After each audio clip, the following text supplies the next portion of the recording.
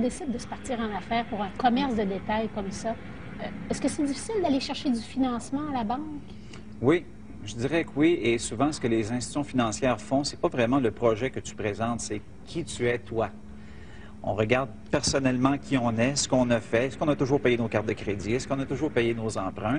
Puis finalement, si on arrive que dire que vous avez une bonne carte de crédit, monsieur, on va vous, on va vous prêter. Sinon, ben préparez-vous un super plan d'affaires dans le Ah béton oui. pour arriver à avoir un prêt là, intéressant parce que c'est vraiment, moi je dirais que les deux ou trois premières années, le temps de faire son nom dans un commerce de détail maintenant, là, il y a tellement d'institutions financières qui sont fait avoir avec des gens qu'on- qu'on- à qui on avait prêté beaucoup d'argent, puis que finalement, ils se sont fait avoir, que maintenant, là, on enquête, puis on prend vos garanties personnelles, puis prouvez-nous que vous êtes capable euh, de faire fonctionner votre commerce, puis après ça, on en reparlera. C'est un peu comme ça que ça fonctionne maintenant.